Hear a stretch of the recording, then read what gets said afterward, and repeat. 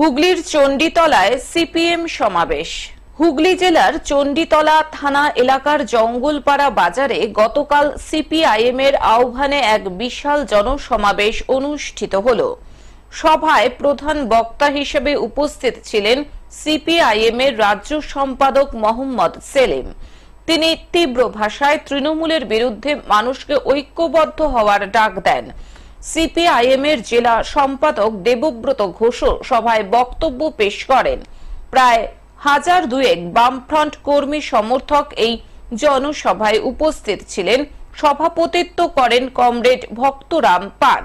আচ্ছা আপনার পাড়ায় যে স্কুলে যে মাস্টার আছে, তিনি যদি অনেক মাস্টার বসে আছেন, খারাপ নেবেন না। যে সেই মাস্টার ঠিক মতো পড়ায়, তাহলে প্রাইভেট টিউশনে দিতে হয়?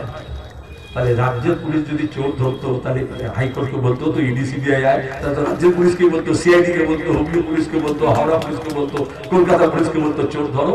কিন্তু এরা জানে, এরা অপদার্থ, এরা চোরদেরকে পাহারা দিচ্ছে, চুরির ভাগ নিচ্ছে, সব পুলিশ না। যেমন সব তৃণমূল চোর না, তেমনি সব পুলিশ চোর না।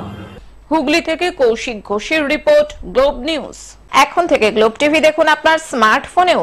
গুগল প্লে স্টোর অথবা অ্যাপল স্টোর থেকে ডাউনলোড করুন গ্লোব টিভি লাইভ অ্যাপ এছাড়াও জিও টিভি অ্যাপ থেকেও দেখুন গ্লোব টিভি লাইভ